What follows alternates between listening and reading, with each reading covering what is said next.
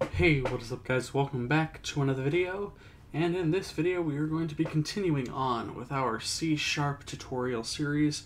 And in this tutorial, we are going to be taking a look at how we can work with stacks in C-sharp.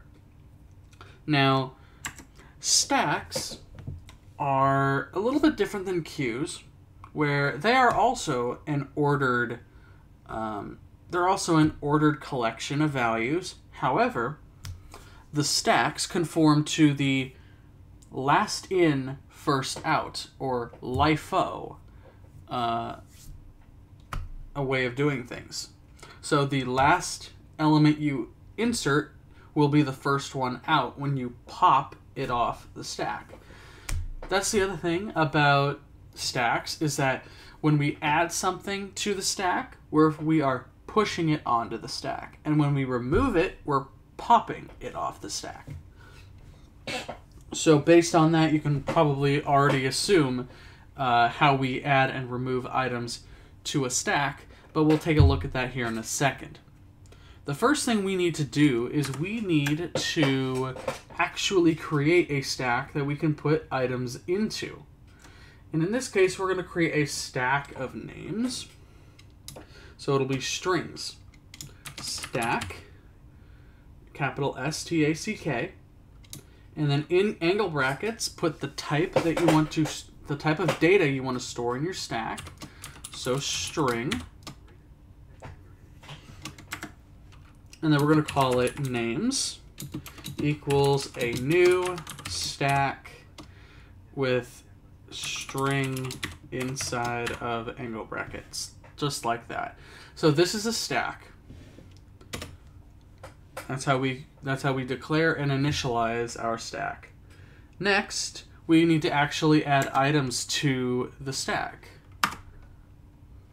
And to do that, we can say names dot push, and then we pass it the the uh, item we want to push to the to the stack. So we'll say Jack. Names dot push Jane. Names dot push Beth. Names dot push Surma and names dot push let's say Jade like that. So now we have a couple names added. We have a few names added to our stack. Now keep in mind what the last item we added to the stack is. The last name we added was Jade.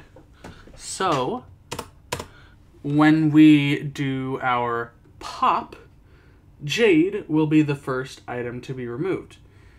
But first, how do we actually like go in and like loop through our stack? Again, you can do a for each loop. So for each string name in names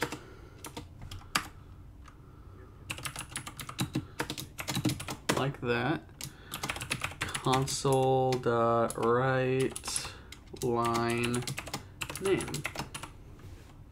Just like that. You can run the code.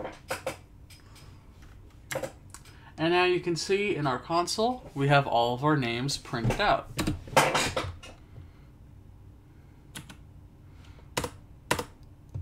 Now, how do we now how do we remove items from our stack? Well, that's exactly like I mentioned before. We need to pop it off the stack. So names dot pop.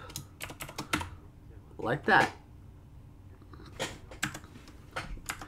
And that will remove Jade from the stack.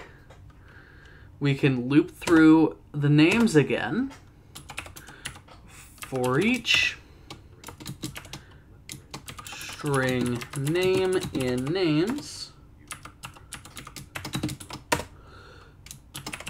console write line name, like that. Go ahead and print, uh, go ahead and run your code again, I mean.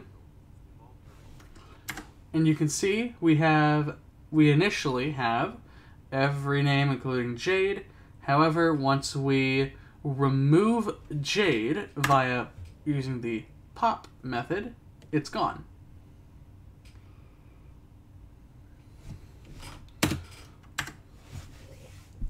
And so that is how we can work with a stack. Uh, thank you all so very much for watching. Make sure you read the documentation to see all the other different things you can do with the stack, but this was just a basic introduction to how we can work with them. We'll see you in the next video.